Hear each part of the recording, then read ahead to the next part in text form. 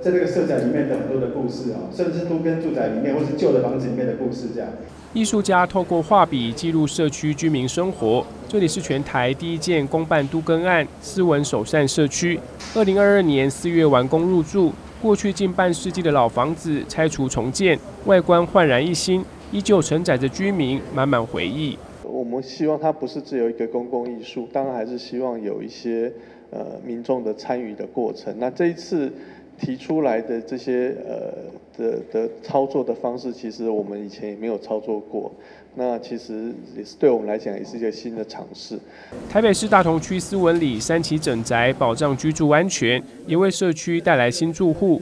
为了营造共融环境，都市更新处邀请艺术团队规划地景创作，以家的形状为主题设计绘本，记录在地居民生活故事，可以让回来住的民众。